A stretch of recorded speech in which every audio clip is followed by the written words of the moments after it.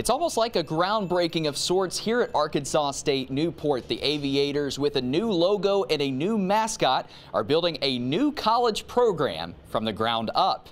This is a very historical moment in the history of this institution. Hundreds of folks gathered at ASU Newport tonight to see the new faces that will lead the programs. The Aviators will compete in the National Junior College Athletic Association in softball and men's basketball. Chancellor Johnny Moore says now is the perfect time to make the move. As chancellor, there's not a day go by that I don't draw back on the skills that I learned on the basketball court to help me make decisions as, chance, as a chancellor.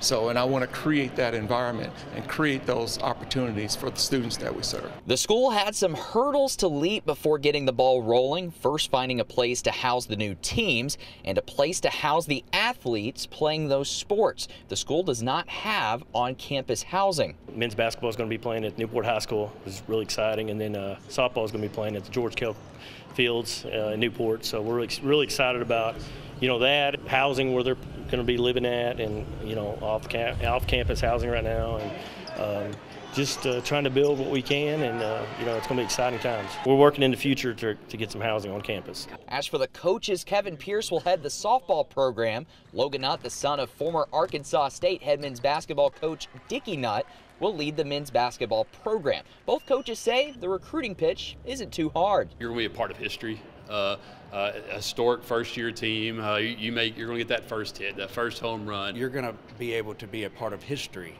being a part of the first ASU Newport Aviator basketball team ever. As for the fundraiser event tonight, Logan's uncle, former Razorback head football coach Houston, was the guest speaker. We'll have more from the Nutt family later this weekend in Newport. Logan Whaley, Region 8 Sports.